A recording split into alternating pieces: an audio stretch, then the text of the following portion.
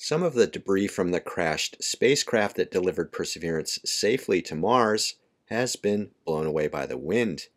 Now, one of those pieces has been encountered for a third time miles from the crash site on this episode of Mars Guy.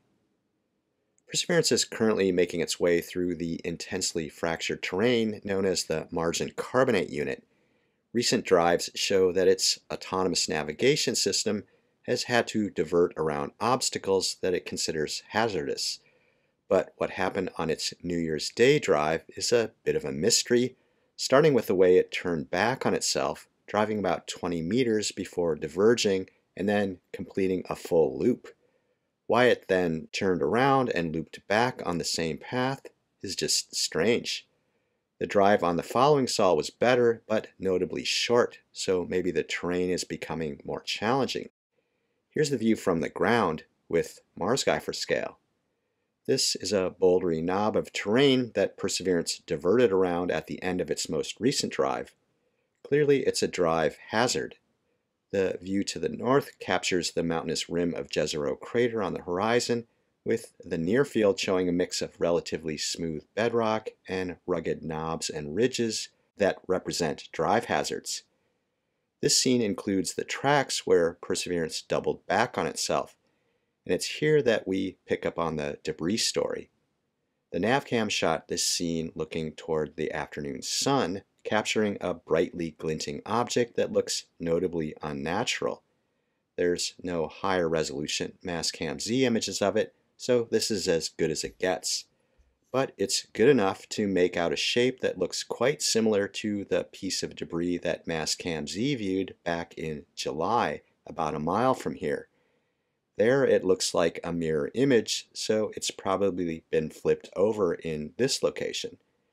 As I presented in episode 118, this piece of debris was first seen by Ingenuity in April, just over 100 meters from its second viewing by Perseverance in July. And as I described in that episode, it's likely that this is a piece of MLI, multi-layer insulation, which is used as a thermal blanket on spacecraft parts.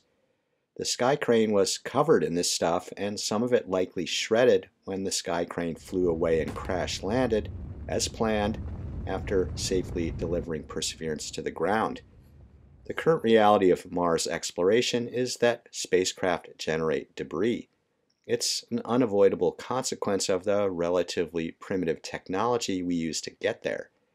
But in the future, those rare bits of debris from the pioneers of Mars exploration will become collector's items. In the meantime, one piece of debris has been on a pioneering journey of its own. The three places that it's been encountered follow a straight line tracing more than six kilometers from the Sky Crane crash site.